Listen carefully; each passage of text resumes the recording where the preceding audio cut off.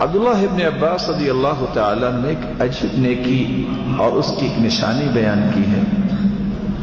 وہ کہا کرتے تھے، جب نیکی قبول ہو جاتی ہے تو پانچ نشانیاں انسان کے جسم میں بھی پیدا ہوتی ہیں، ظاہر ہوتی ہیں۔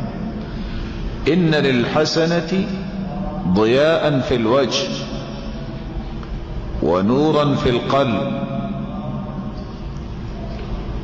جب انسان نیکی کرتا ہے اور نیکی قبول ہو جاتی ہے، اس کی وجہ سے اس کا چہرہ ٹمٹمانے لگ جاتا ہے، اس پہ عجیب سی رونق آ جاتی ہے۔ وہ گیا انفل القلب، اور اس کا دل بھی روشن ہو جاتا ہے۔ وہ قوت انفل بدل اس کے جسم میں بھی طاقت آ جاتی ہے۔ وہ ساعتن پھر رزق اور وہ اپنے مال و دولت میں بھی وسعت اور فراوانی محسوس کرتا ہے۔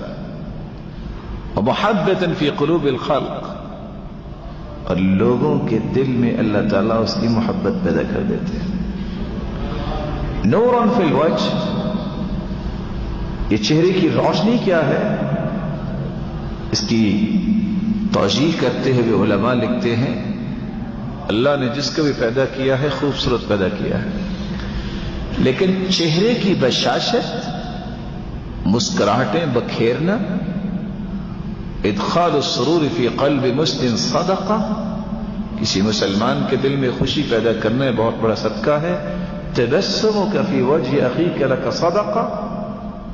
جب اللہ تعالیٰ نیکی قبول کرتے ہیں تو اس کے دل میں ایسی خوشی پیدا کرتے ہیں جس کا اظہار مسکراہٹوں اور بشاشت کے ساتھ وہ انسان دنیا کے سامنے کرتا ہے۔ ہر وقت خوش۔ یوں لگتا ہے کہ دنیا میں اس سے بڑا انسان جو ہے، وہ سکون اور وقار والا ہے ہی کوئی نہیں۔ اس کو دنیا کا غم ہے ہی کوئی نہیں۔ یہ خوشی ہر ایک کو نصیب نہیں ہوتی۔ ونور فی القلب۔ دل میں روشنی کیا ہے؟ ہر وقت اللہ کے وعدوں پر پر امید۔ پریشانی کو نہیں۔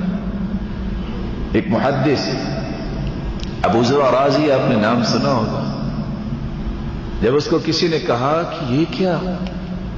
باطل تو بڑی چھلانگے لگا رہا ہے۔ کہتے نہیں۔ ان للباطل جولہ۔ باطل گردش تو کرتا ہے، لیکن سرعان ما يتلاشى لیکن اس گردش کو پورا نہیں کر پاتا، ٹکڑے ٹکڑے ہو جاتا ہے۔ کیوں؟